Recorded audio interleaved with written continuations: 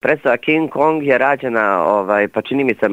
sad već pre deset godina. E, to je bila jedna jako lepa saradnja između pozorišta u Krsturu i e, našeg kulturno-umetničkog društva Đura Kiš i Šida, gdje su i naši glumci, odnosno ne samo glumci, nego i saradnici sarađivali, napravili jednu lepu koprodukciju sa njihovim glumcima i to je zaista onako pre, e, i, bilo u, vrlo uspešno. Premijera je izvedena, sama priča o King Kongu je nastala tako što sam ja napisao tekst po već postojećem romanu, a ovaj, malo sam samo izmenio jer je King Kong u predstavi patuljast mali i svi od njega žele da napravi atrakciju, a on neće, on je zaista dobar.